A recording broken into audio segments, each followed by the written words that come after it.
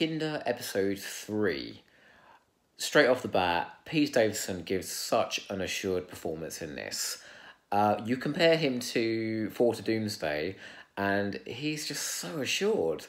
Uh, it's like two watching two very different doctors. I clearly the material here suits him much better. He's given some very intelligent things to say, and he rises to the occasion brilliantly, just as he always does when he's brilliantly written.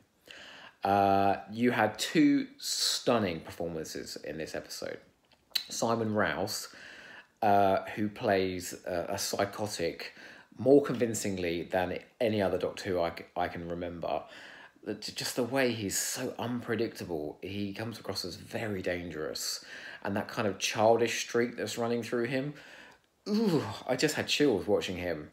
And uh, the scenes of him building the city. For once, Adric actually feels like he fits in perfectly because it's three children playing together. So those scenes, uh, they just have an edge to them that I'm unaccustomed to in Doctor Who. Uh, I really like how not everything is immediately explained in this story. Uh, it's unusual for an early 80s stories to treat its audience um, quite as intelligently as this. Uh, I was quite impressed by that. Uh, plenty of chest hair on display. Um, sorry, I realise this is becoming kinky Doctor Who rather than happy Doctor Who, but there we go. Uh, my love for Nerys Hughes has no bounds. I think her chemistry with Peter Davison is awesome, and she should have been the sole companion throughout the Peter Davison era, hands down. Uh, it's a really well thought culture, a well thought out culture on Deva Loka. Um, essentially, the the story is the Doctor and Todd unpeeling this culture a bit at a time. You know, it's very impressive as well. There's a history there. There's myths, legends, humor. It's just very well charted.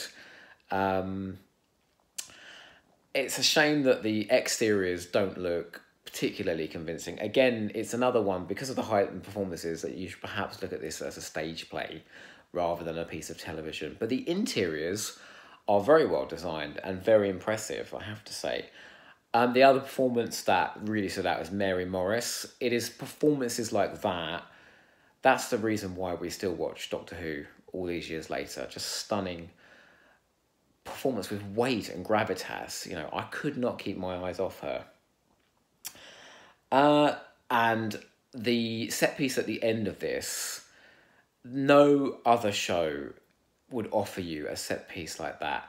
It is trippy and weird. The direction, the direction of this entire story is full of lovely little arty touches, which is unbelievable given the speed that this is made.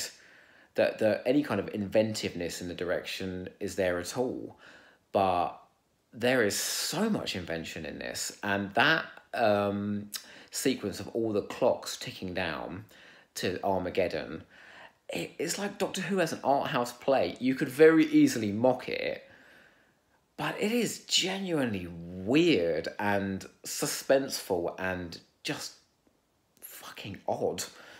Uh, I was just glued to the screen watching it. Um, and you could kind of say that about this story as a whole. It's like the Doctor Who art house play. Uh, completely out there, doing its own thing. Lots of hidden messages and nuances. And uh, yeah, making no excuses for it. It is quite brilliant in its own way. Uh, easy to mock, perhaps, but completely unique and that should be celebrated. So, Kinda, give it a watch. There's a reason why so many Doctor Who fans love this.